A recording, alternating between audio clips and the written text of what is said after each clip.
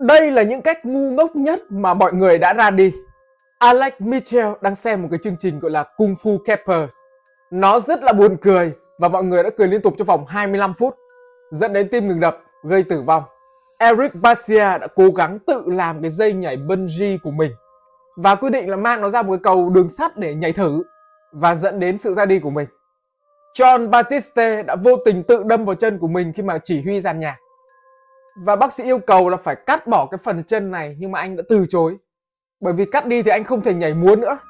Nên là anh chọn sự ra đi. Gary Hoy là một luật sư người Canada quan tâm tới kiến trúc. Anh có một cái style test độ cứng của cửa sổ bằng cách là chạy tới và đạp thật mạnh vào cửa sổ của những cái ngôi nhà mà anh tạo ra. Và một ngày nọ thì cửa sổ vỡ và anh bay ra ngoài luôn.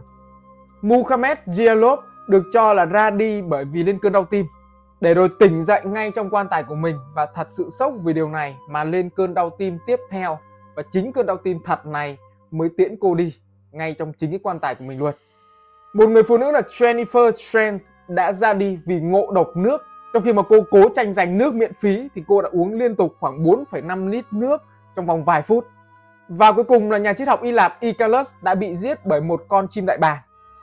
Nó đã thả một con rùa lên đầu của ông vì nghĩ rằng cái phần đầu hói của ông chính là một tảng đá.